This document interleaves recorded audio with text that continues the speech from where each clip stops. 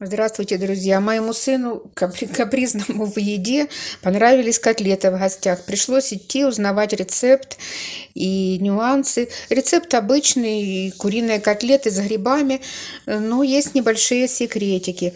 Рассказываю вам. Э, фарш куриный обычный из филе, яйцо здесь, перец, соль и маленькое такое же как количество яйцо, яйцо по размеру, такое же количество майонеза.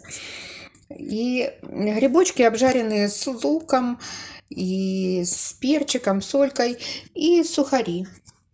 И второй секретик – это то, что нужно отбивать этот фарш в течение 15-20 минут, чтобы он насытился кислородом. Из хорошо перебитого фарша формируем котлетки. Фарш стал такой более упругий, более плотненький. Ничего не добавляем, ни манки, ни муки, ни кар... ну, никаких ингредиентов больше. Только фарш и это сам, э, кладем внутрь грибочки. И хорошо обваливаем в сухарях.